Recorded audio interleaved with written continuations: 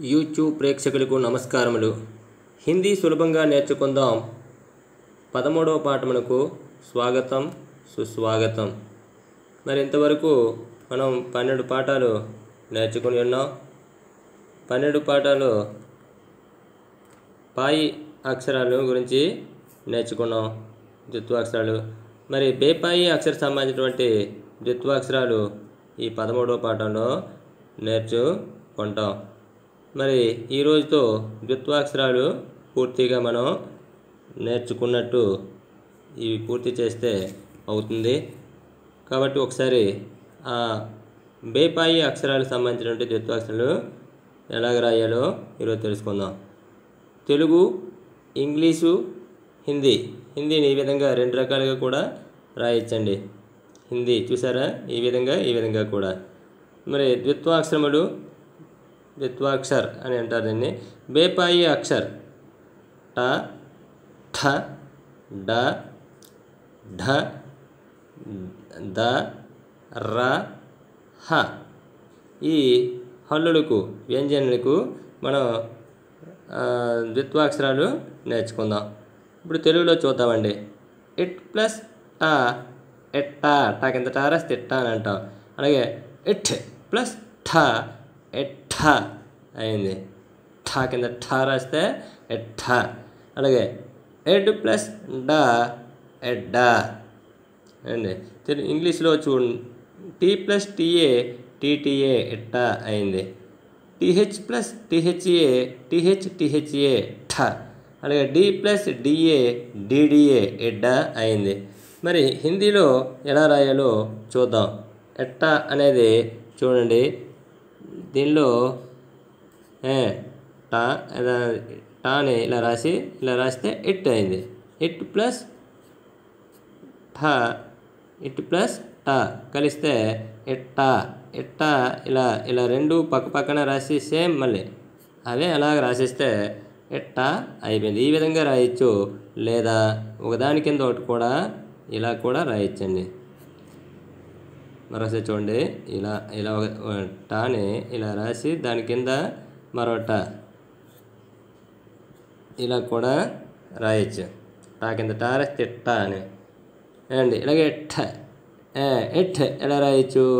It it plus ఠ కలిస్తే ఎట్ట అయింది. ఎట్ట అనేది ఇప్పుడు ఇలా పక్క పక్క కూడా ఇలా రాసి ఇలా కూడా రాయొచ్చు. లేదా ఒకదాని కింద ఒకటి కూడా రాయొచ్చండి. ఇలా కూడా రాయొచ్చు. ఎట్ట అర్థమవుతుందండి? ఇది ఎట్ట అయింది. అలాగే ఎడ్డ చూసినట్లయితే చూడండి. ఎడ్. ఎడ్ ప్లస్ డా. కలిస్తే ఏమైంది? ఎడ్డ. అది సేమ్ అలా పక్కపక్కగా రాసిడే రాసిడు ఆ రెండింటిని ఇలా రాస్తే ఎడ్డ ఇలా రాయొచ్చు. లేదా ఒకదాని కింద ఒకటి. ఇట్లా కూడా రాయొచ్చు.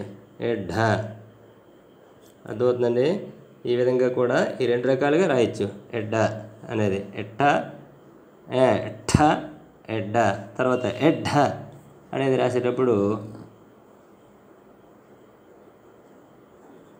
ఎడ్డ ఎడ్ అనేది ఇప్పుడు దీన్ని ఎడ్ ఎడ్ ప్లస్ అండ్ దీని పక్కన ఎడ్ ఢ రాస్తే ఎడ్ చూడండి ఎలా అవుతుంది ఇది? హెడ్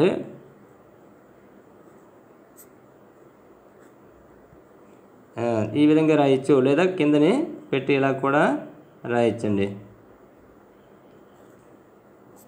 హెడ్ ఈ విధంగా కూడా. తర్వాత ఎద్ ప్లస్ ద ఎద్ద. ఇది ఎలా అయింది? తెలుగులో చూసినట్లయితే ఎద్ ప్లస్ ద ఎద్ద ఎర్ ప్లస్ ర ఎర్ర అయింది. ఇంగ్లీష్లో ఎడ్ ప్లస్ ఢ ఎడ్ఢ అయింది. దాన్ని ఇంగ్లీష్లో చూడండి. D H plus D H A ఇది D H D H A అని అయింది. అదే ఎద్ద అనే దానికి చూద్దాం. D plus D A D D A ఎద్ద అయింది. ఎర్ర అనేదానికి ఆర్ ప్లస్ ఆర్ఏ ఆర్ఆర్ఏ అయింది. వాటిని హిందీలో ఎలా రాయాలో ఒకసారి చూద్దామండి. ఎద్ ఎద్ని ఎలా రాయాలి?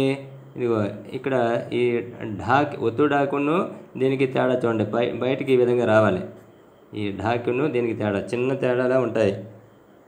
ఎద్దు ఎద్దు ప్లస్ ధ కలిస్తే ఇద్ధ రాయాలనుకోండి. ఈ ఇది ఇలా పక్క పక్కగా రాసేయడమే? ఇద్ధ లేదా ఈ కింది నుంచి కూడా ఇలా ఒకదాని కింద ఒకటి జస్ట్ కనిపించినట్టుగా. ఎద్ద ఇలా కూడా రాయొచ్చండి. అలాగే ఎర్ర రాయాలనుకుంటే ఎర్ ప్లస్ రా ఎర్ర. ఎర్ ప్లస్ రా ఎర్రాకి చూడండి ఈ విధంగా రాయాలి. ఇక్కడ బాగా పరిశీలించాలి. ఎర్ర రాసేటప్పుడు మిగిలిన వేటికి లేనటువంటి పద్ధతిలో ఇది రాయాలి. రాని రాసి దీనికి ముందుగా గీత ముందుకి ఇలా గీత గీస్తే ఎర్ర అయింది. మరోసారి చూడండి. ఇలా రాని రాసి దీని ముందుకి ఇలా గీత వేస్తే ఎర్ర అవుతుందన్నమాట. ఇది ఎర్ర. తర్వాత హిహ్ ప్లస్ హ హిహ్ హ హ అయిందన్నమాట. హ్ అంటే హెచ్. ఇంగ్లీష్లో హెచ్ ప్లస్ హెచ్ఏ హెచ్హెచ్ఏ హ అయింది. దాన్ని హిందీలో ఎలా రాస్తాం? హ రాసేటప్పుడు చూడండి ఏ విధంగా రాస్తానో ఇహ్ ప్లస్ అండి చూస్తుంటారు కదా? హిఫ్ ప్లస్ హ కలిస్తే అయింది. హ హ అనేటప్పుడు మనం సాధారణంగా ఇలా వాడుతుంటాం కదండి. ఇలా పక్క పక్కగా రాయొచ్చు. లేదా ఒకదాని కింద ఒకటి కూడా రాయొచ్చు. ఇందాక మీకు చెప్పినట్టుగానే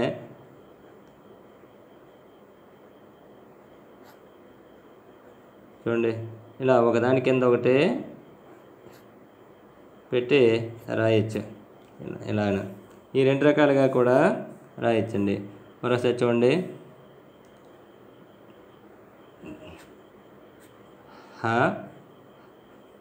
అయింది. దాని పక్కన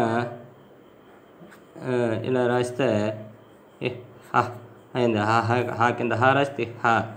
దాన్నే ఈ రకంగా కూడా ఒకదాని కింద ఒకటి ఒకదాని కింద ఒకటి ఇలా ఇలా కూడా రాయొచ్చండి. ఈ విధంగా మొత్తం ఇప్పుడు వరకు చూసారా? టా ఠ డ ఢ అలా ద ర హ అనే ఈ మొత్తం ఏడు అక్షరాలకు ద్విత్వాక్షరాల గురించి ఈరోజు తెలుసుకున్నాం. అంటే పూర్తిగా ద్విత్వాక్షరాలని ఏ విధంగా రాయాలో ఈ నాలుగు రోజులు నాలుగు క్లాసుల్లో మనం ఇప్పటి వరకు నేర్చుకొని ఉన్నాం. తరువాత సంయుక్తాక్షరాలు ఎలా రాయాలి? ఆ తర్వాత మనం ఆ అంకెలు అంకెలు అలాగే పదాలకు సంబంధించినటువంటి అనేక విషయాలు మనం మున్ముందు తెలుసుకుందాం. అలాగే వాక్యాలు ఆ తర్వాత ఏ విధంగా మనకి నిత్య జీవితంలో అవసరమైనటువంటి మాటలు అన్నీ కూడా మున్ముందు క్లాసుల్లో నేర్చుకుందాం. కాబట్టి ప్రతి ఒక్కరూ ఈ మా కార్యక్రమాల్ని వీక్షిస్తూ తెలుగు ఇంగ్లీషు హిందీ మూడు భాషల్లో కూడా రాయడం చదవడం మాట్లాడడం అర్థం చేసుకోవడం ఈ అన్ని విషయాలు కూడా ఈ కార్యక్రమం ద్వారా తెలుస్తాయి కాబట్టి ఆబాల గోపాలం అంటే చిన్నపిల్లల నుండి పెద్దల వరకు అందరూ కూడా ఆసక్తి గల ప్రతి ఒక్కరూ ఈ కార్యక్రమాన్ని వీక్షించగలరని ఆశిస్తూ మరలా మరి కొత్త కార్యక్రమంతో మీ ముందుకు వస్తానని సెలవు తీసుకుంటున్న మీ నాగరాజు ధన్యవాదములతో